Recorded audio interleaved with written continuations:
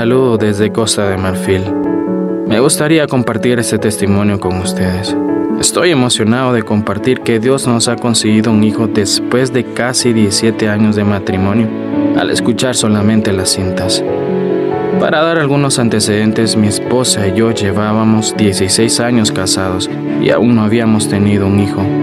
Hemos ido de iglesia del mensaje a iglesia del mensaje. Durante el tiempo de COVID-19, mi esposa me dijo que el hermano Joseph era un profeta y pidió a la novia de todo el mundo que escuchara las cintas. Me resistí diciendo, ¿a quién debo escuchar? ¿Al pastor o al hermano Joseph? Durante la pandemia, nuestro pastor también propuso un programa de escuchar cintas. Un día me vino un pensamiento diciendo, el hermano Joseph es un profeta, y siendo un profeta, él tiene la interpretación de la palabra divina. Fue entonces cuando recibí la revelación de que decir lo que dicen las cintas significa presionar play. A partir de ese momento, dejamos de asistir a nuestra iglesia porque el pastor no creía en tocar las cintas en cada servicio, como el ejemplo dado por el hermano Joseph.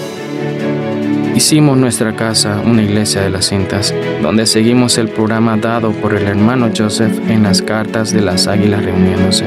Habíamos enviado una petición de oración al hermano Joseph para pedirle a Dios que nos considera hijos. Después de unos pocos servicios escuchando únicamente las cintas, mi esposa fue al hospital porque no se sentía bien. Después de un ultrasonido, el médico nos informó de que el embarazo era negativo.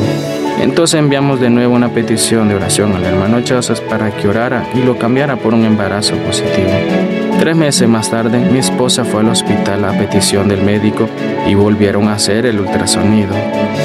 El resultado fue que mi esposa tenía tres meses de embarazo. Desde entonces ha dado a luz y ahora él tiene tres meses de edad. Le hemos puesto al niño el nombre de Joseph en honor a nuestro hermano Joseph Brana.